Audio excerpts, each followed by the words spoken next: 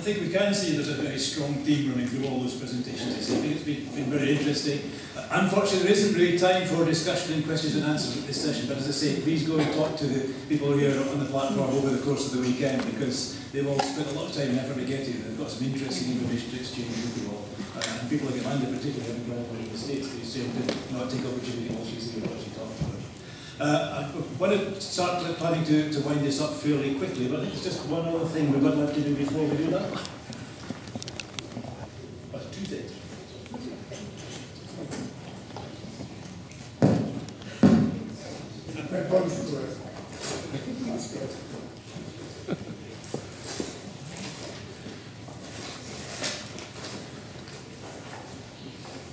Anybody who came to Hazards 2017 would have noticed that I was given a particular job or asked to perform a particular task at the end of this session, this equivalent session.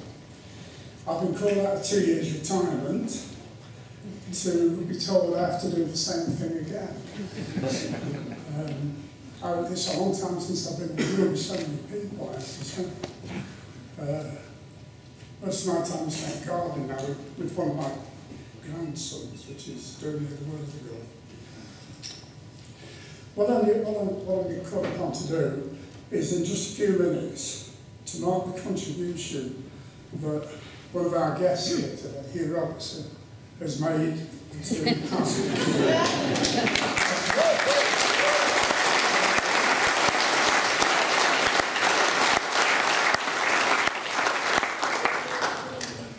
I've known you for about 17 years.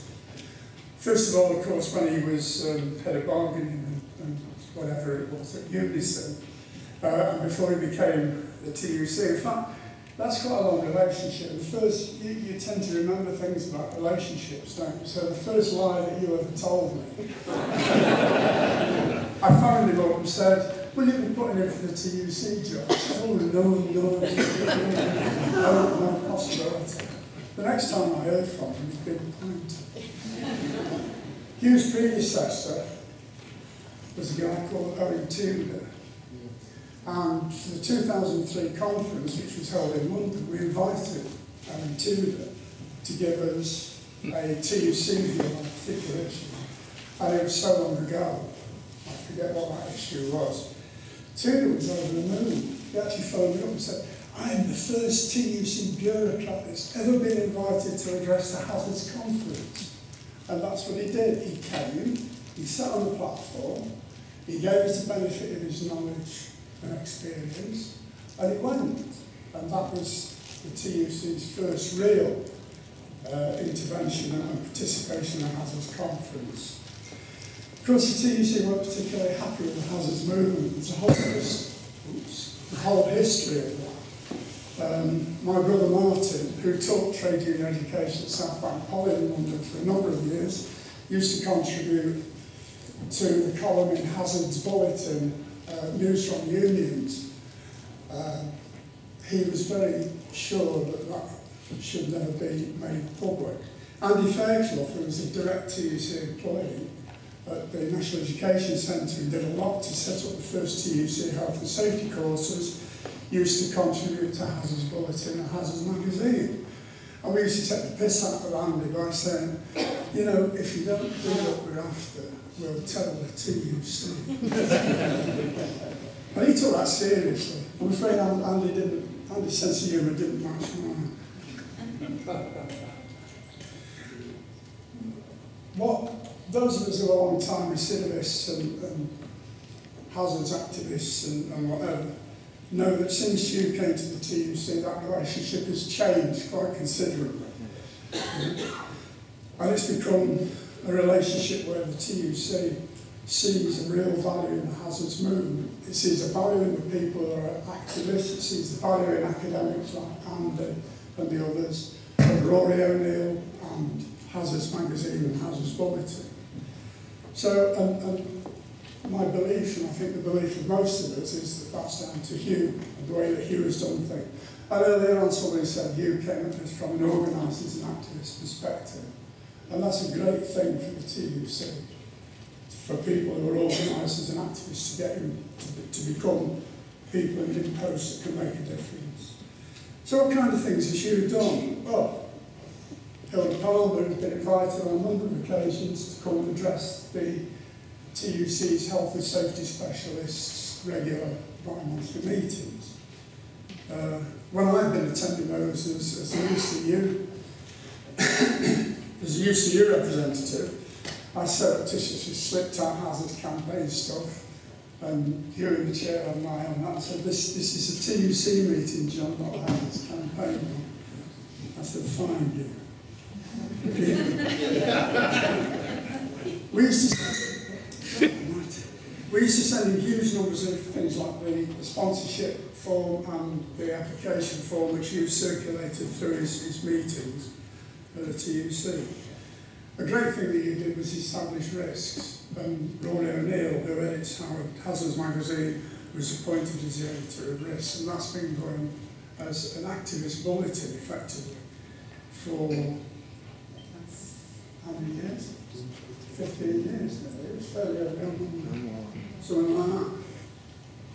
Hugh himself contributes article to hazards. God almighty, John Monks must be turning his grave he's I'm, I'm much more useful thing, and not something really to talk about, but Hugh always used to as though if there were issues going on, so he'd, he'd, he'd be on the phone to Hilda or you know, talk to Rory or somebody, and something would come up. It was very much a case of you might want to take this up or you might want to give an angle on this. So we get some stuff from. Massive contributions to this event. New problems, and apart from when he's got to rush off to Europe, because he is partly a bureaucrat, not always it. Um, he'll chair sessions, he'll speak at sessions, he runs workshops.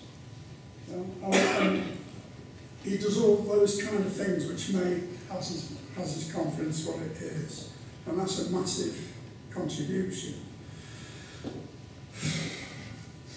He's even asked people in Hazard's campaign to become the editors of the TUC's Hazards at Work Bulletin. And for the last three issues, me, Hilda, Ivy, Caroline and others have contributed to that process. And Janet. Yes. Anybody else? I, I, did, I, did this, I did this with the asbestos groups once, and I missed out the Clydebank.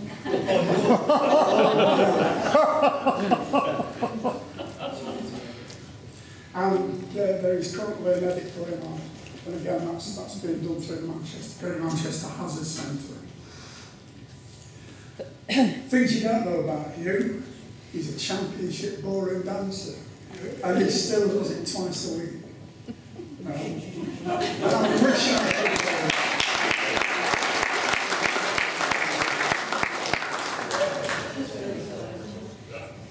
But I'm not here to do the Pasadena if I could. So we've organised just a little bit of a presentation for you, and I'll give it to him now. It's, it's an iconic health and safety stroke workers object. So we will show it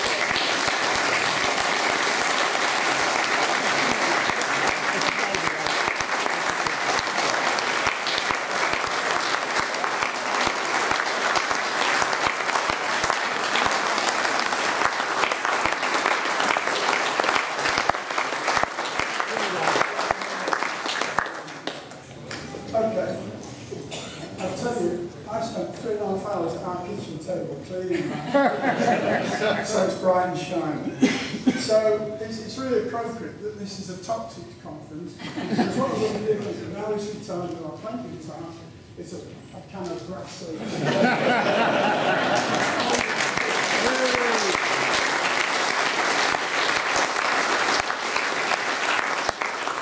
I want just one more thing. Just one more thing. Back when I was a relatively young man in, in the mid-70s, there was a group, of, it was a punk rock group called the Ian Dury and the Blockheads. I'm sure that some of you remember it. Dury had this wonderful ability to write poetry and, and lyrics. He had a real problem with the music. And then one day he came across, and eventually teamed up with a, an ace musician called Chaz Jankel.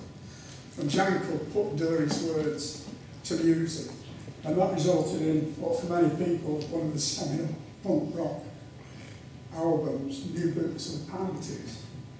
On the sleeve of that, there are pictures of the band members, and Dury adds little comments. And it says Chaz Jankel, and a bloody good job too. And I say, you wrote this, and a bloody good job too.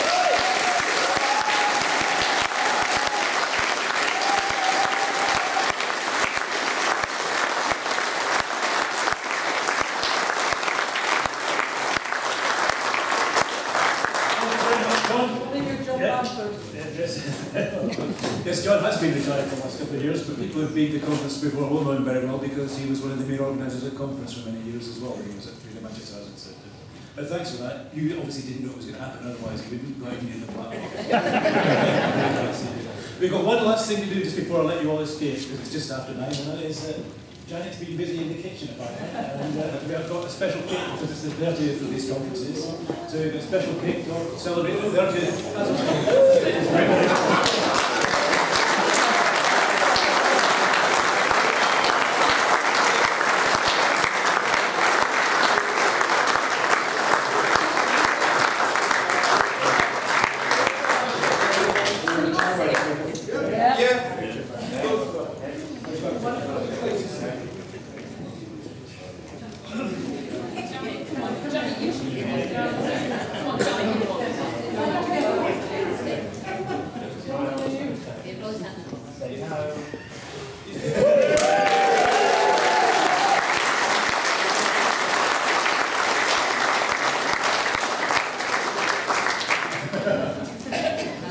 start the washing cake in a minute. Um, we have just run over slightly, so my apologies for that, but it's just after 9 o'clock. Uh, I would remind you all we've got workshops in the morning, 9.30 start, is it? Yeah, we're right early in the workshops please, because that's the first group meeting.